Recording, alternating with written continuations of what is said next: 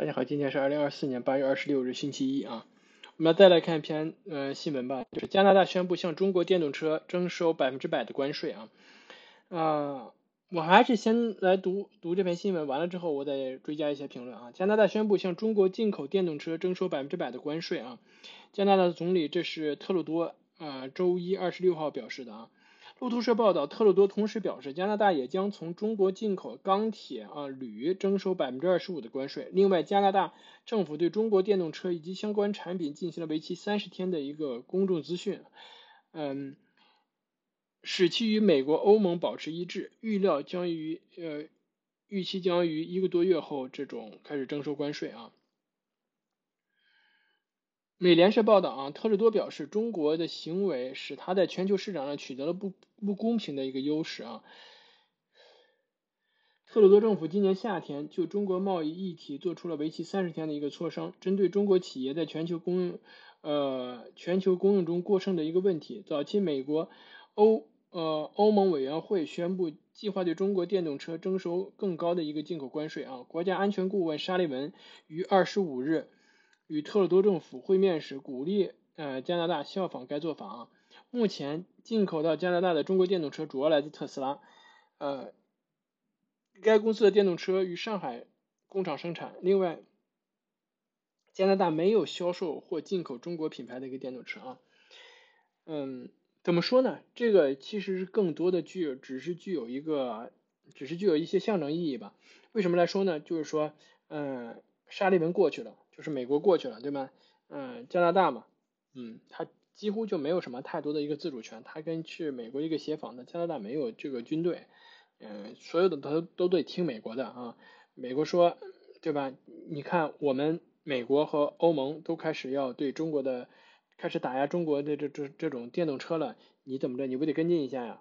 对，呃，然后特鲁多就就就只是表示一下呗，对吧？好吧，那我们也跟着你。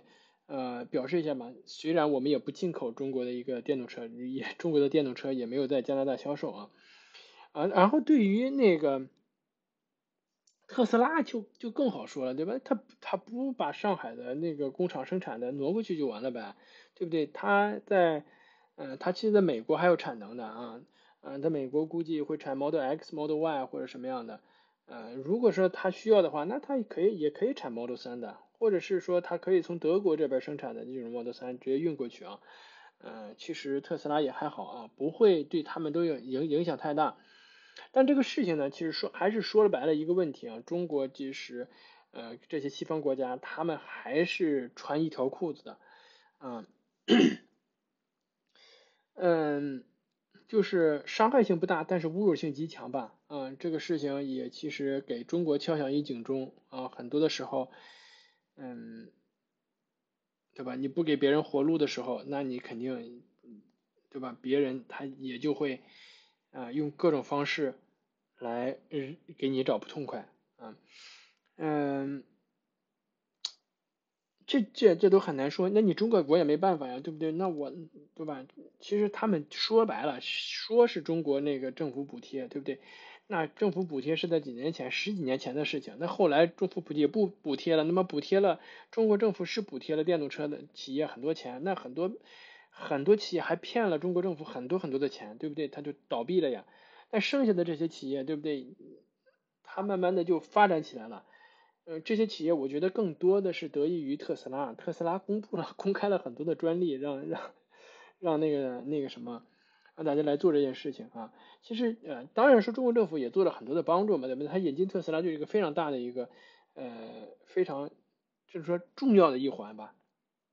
你把特斯拉引进去了，对不对？它带来的先进的技术，那个呃这种管理理念呢，连工人都是训练，它都是为中国电动车真的是发展起了一个非常非常重要的一个作用啊。嗯，但是中国电动车起来之后，对不对？它有中国这么大的一个市场和规模化的一个效应，对不对？你你你如果说德国，嗯，比如说丹麦造一个车，它只顾丹麦做了，那你每个单车的成本就非常高的。但中国就不一样了，对不对？你中国只要生产线弄出来，哐哐哐哐它造的话，那你造的多了之后，你你你这种市场够大，那它的成本自然就降下来了。你规模起来了之后，它就下来了，对不对？所以说中国开始现在电动车，其他的国家根本就没办法竞争，因为它太便宜了，又便宜又好用啊。这中国这种电动车车车企卷的又厉害啊，嗯，所以这几个国家，我估计这几个国家联合起来还是很难竞争的过，啊，你加了关税，其实也很难竞争的过吧，啊，嗯，这就是这个样子，嗯，也就是跟原来你对吧，你你德国或者是美国产的汽车一样，你也很难竞争的过，对不对？嗯。但感觉这场贸易战又又要开始了啊，嗯，我估计中国也得有反制措施，对吧？中国对欧盟有反制措施，对吧？我们之前也说了，关于什么奶酪啊、奶制品呐，甚至还有什么猪肉啊，对，都都让丹麦躺枪了啊。但但针对于这种加拿大的话，其实它肯定也会有反制措施吧，啊，嗯，反正越来越多受伤的总是老百姓，对不对？你让中国这种便宜的车进去多好啊！这个全球的气候问题就解决多少啊？这，嗯，就就就是碳排放量减少多少啊？然后其他国家的这种便宜产品，中国对吧？老百姓对吧也想买，那多好。现在呢，非搞这种贸易壁垒，对不对？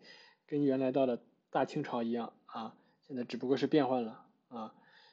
以后中国跟他们打完了，打一仗，打完了，如果能打赢的话，那就是说啊。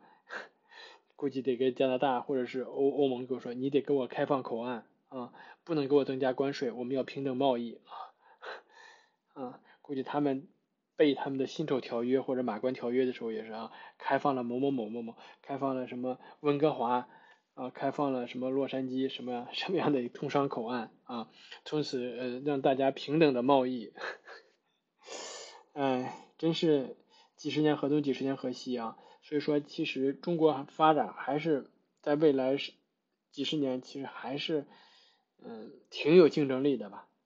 好吧，今天讲到这里，谢谢大家。